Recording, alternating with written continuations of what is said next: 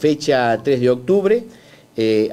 se había radicado una denuncia por parte de Silvana Ángela Maidana, madre de eh, Lorena Ariana Pérez, de 15 años, quien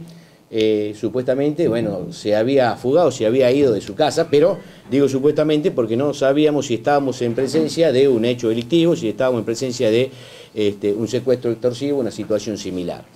una vez que se toma conocimiento a través del ayudante fiscal, el doctor Cabana de La Quiaca, eh, de la denuncia que había sido radicada en la eh, seccional 17, se, eh, como es de estilo, se tomaron las, las, primeras medidas, se puso en conocimiento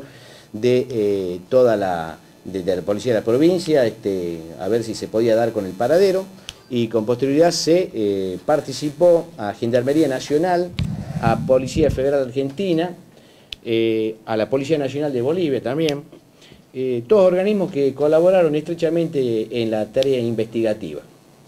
A través de algunos datos se pudo establecer que podrían estar en provincia de Tucumán.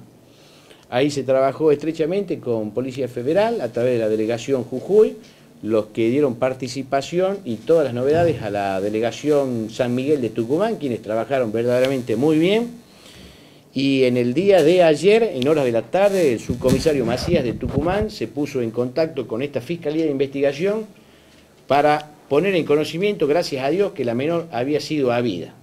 Junto con ella, el menor, no, menor no, tiene 18 años, el muchacho que la acompañaba, y la madre del menor. Eh, Policía Federal dispuso, eh, con conocimiento de la Fiscalía, a quien consultó previamente, eh, la menor sea revisada por un facultativo